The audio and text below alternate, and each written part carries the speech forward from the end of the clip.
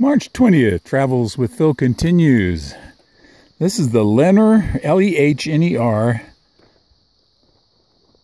Mammoth Kill Site.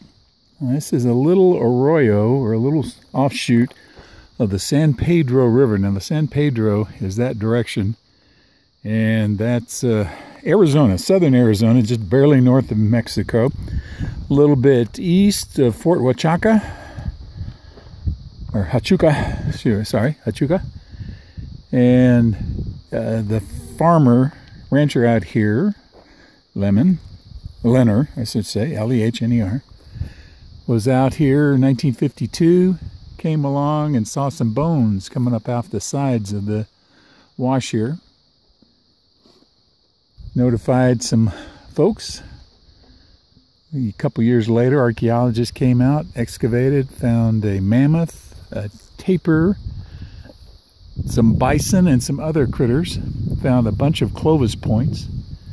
Came back out again uh, maybe 20 years later. Other folks did. Did some more excavation, found some more Clovis uh, scraping tools. Now, Clovis is a very, very old, prehistoric people that lived out here. And they were the ones before the, uh, what you might call the modern Indians and they go back uh, 11,000 years roughly in this in this area. And particularly the rocks and things they found out here were roughly uh, uh, the bones I should say were roughly 11,000 years old. You see all kinds of variety. Just lots of stuff washed down into here. Conglomerates.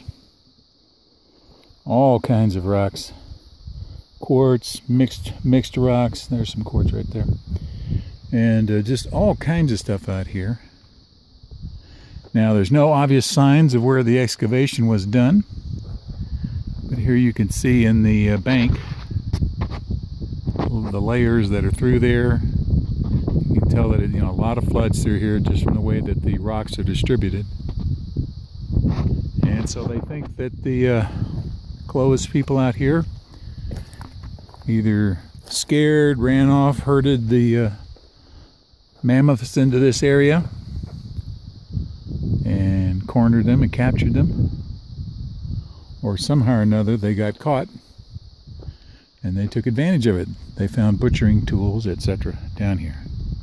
So this is again Huachuca, Fort Huachuca, a little bit away from uh, Sierra Vista in uh, southeastern Arizona in Cochise County eventually, eventually, eventually, the Apaches came in through here.